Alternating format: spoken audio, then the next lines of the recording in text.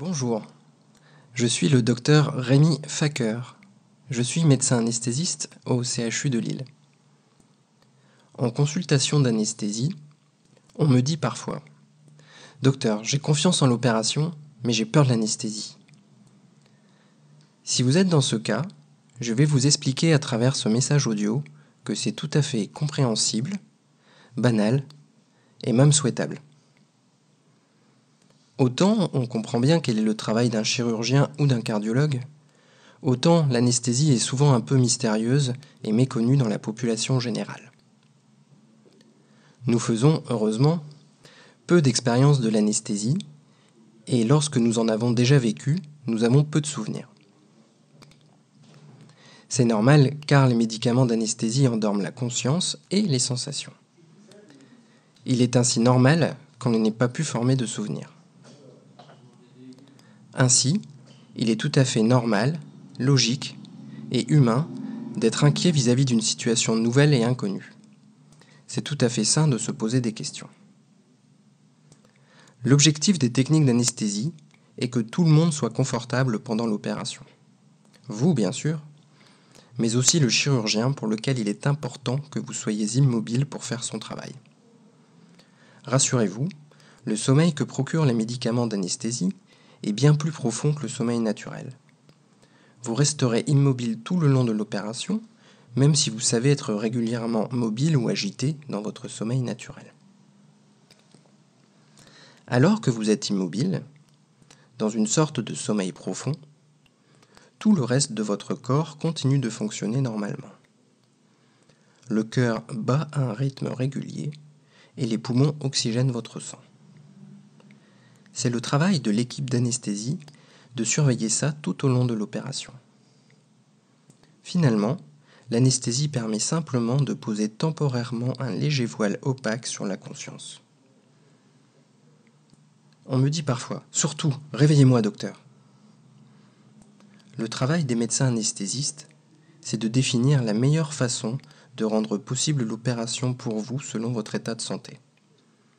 Puis, on veillera sur vous tout au long de l'opération pour permettre un réveil de qualité. Et celui-ci se fera aussi grâce à vous. Pourquoi est-ce que je dis ça? Ça vous intrigue? Je vous dois quelques explications. On imagine souvent que le médecin anesthésiste calcule une dose de produit pour une durée bien établie d'opération. En réalité, on travaille autrement. Au démarrage de l'opération, on vous donne progressivement des médicaments d'anesthésie jusqu'à ce que l'on constate votre endormissement. Ensuite, on continue de fournir à votre corps des médicaments pour maintenir votre état tout au long de l'opération. C'est seulement une fois l'opération complètement terminée que l'on arrête ces médicaments et votre corps les élimine en une dizaine de minutes, favorisant le réveil.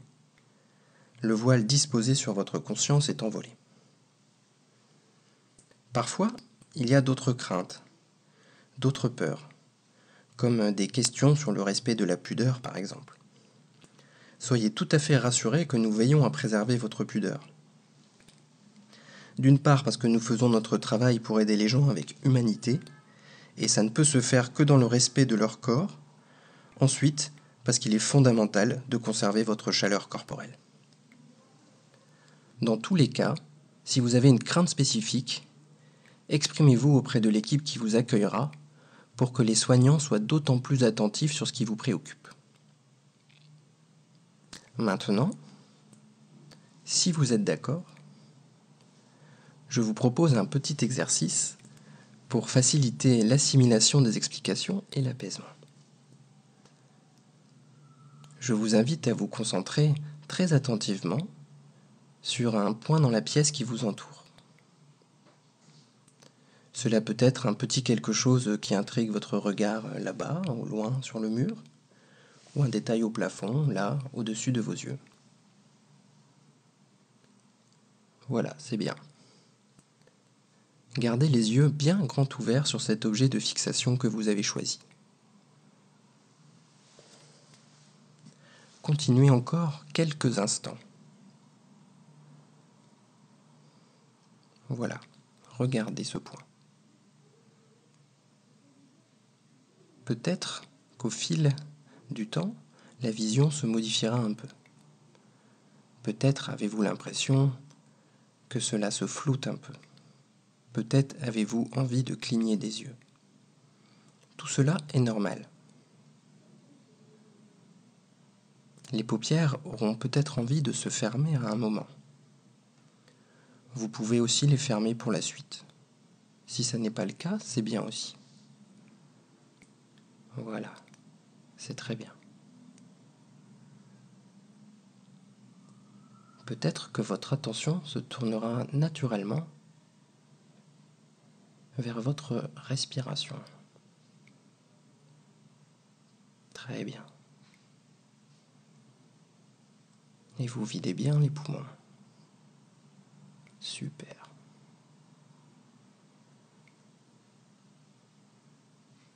Vous le faites très très bien.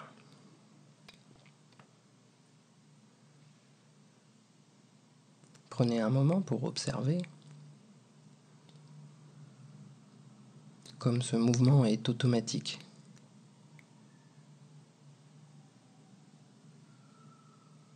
La respiration se fait toute seule.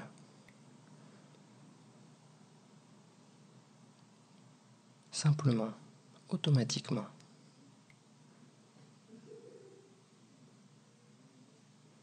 C'est naturel de respirer ainsi et vous savez le faire.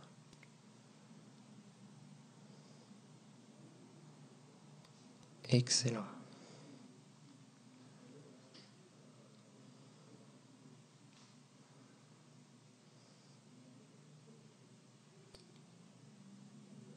Dorénavant, je vous propose de vous concentrer sur la façon dont votre corps est installé.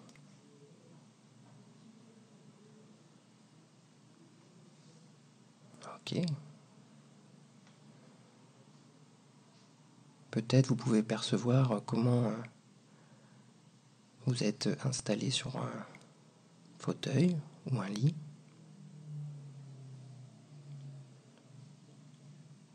ou dans une autre position, ça n'a pas d'importance.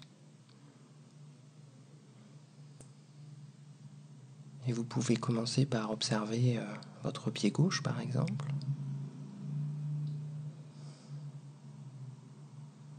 Voir quelles sont les sensations dans le pied gauche.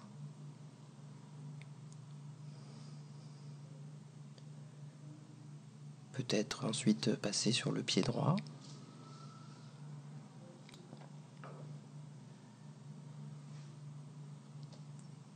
Et votre ressenti va progressivement scanner votre corps du bas vers le haut.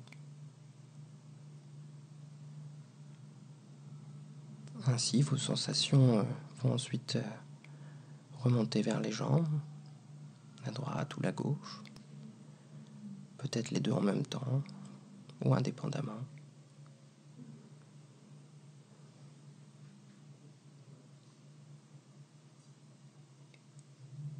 puis les genoux, les jambes,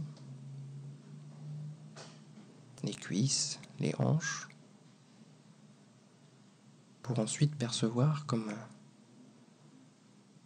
se fait le contact de votre corps avec le mobilier, au niveau de vos fesses ou le dos.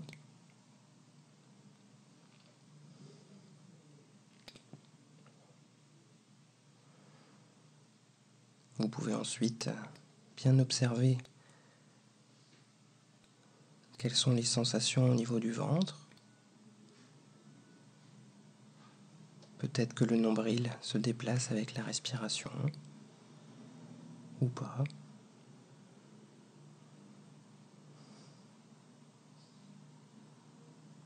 Plus haut dans la poitrine, les côtes se soulèvent à un rythme régulier.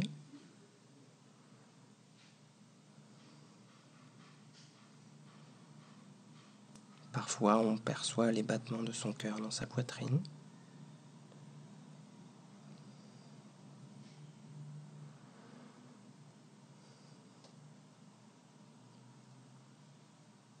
Voilà, vous le faites très bien.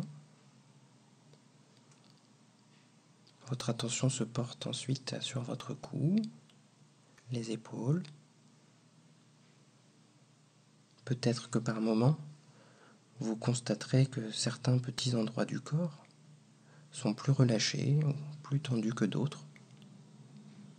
Ça n'a pas d'importance pour notre exercice.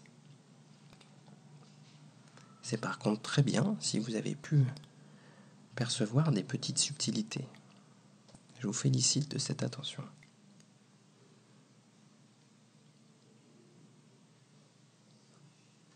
Vous observez euh, comme vos épaules peuvent euh, se relâcher, se détendre tranquillement.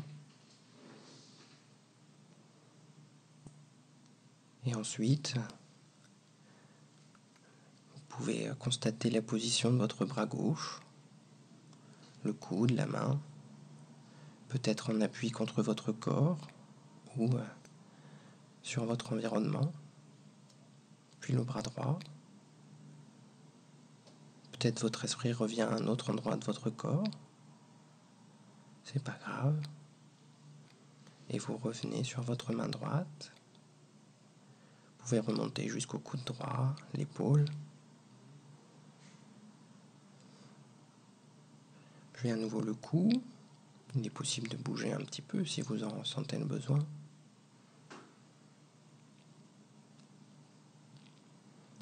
Et puis vous portez votre attention sur tous les petits muscles de la face. Il y a les joues, les paupières, le front. Et vous ressentez une décontraction qui s'installe, assez naturelle, facilement. Et si quelques zones résistent de ci, de là, c'est tout aussi intéressant.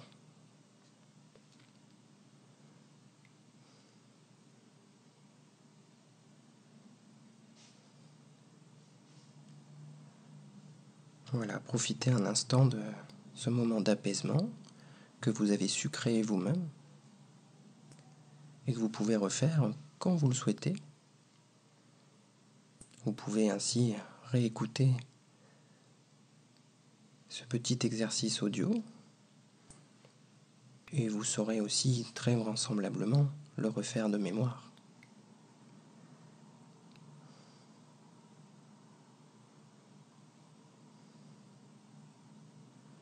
Je vous remercie pour euh, votre attention.